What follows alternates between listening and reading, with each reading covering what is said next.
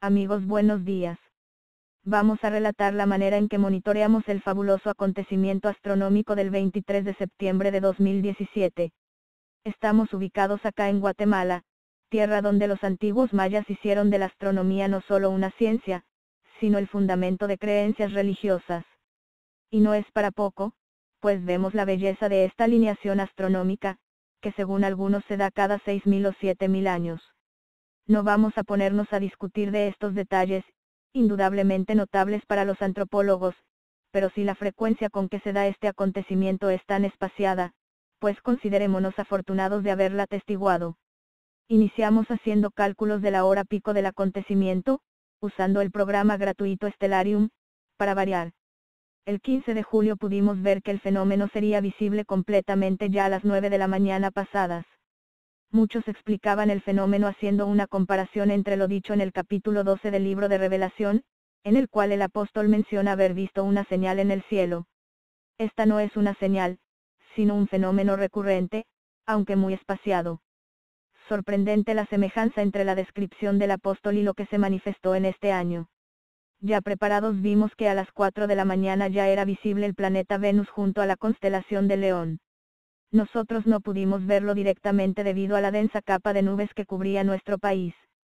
A las 4.49 de la mañana, ya era visible el planeta Marte.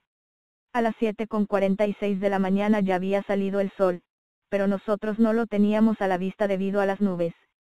Activamos el programa Stellarium para ver la situación sin el bloqueo de la atmósfera en coincidiones diurnas.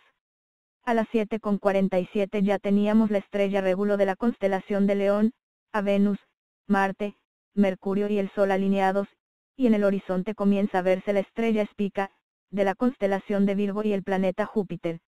El espectáculo ya era más que fabuloso, pero invisible al ojo humano acá en la superficie del planeta. Estábamos esperando el surgimiento de la luna, y vimos que a las 8.33 minutos ya estaba debajo del horizonte. Notable el número 33 muchachos, jeje. A las 9.7 de la mañana la luna ya está sobre el horizonte. Y ahora podemos ver todo el conjunto de astros, que son los siguientes. Estrella Regulo, de la constelación del León. Planetas Venus, Marte y Mercurio, alineados. El Sol.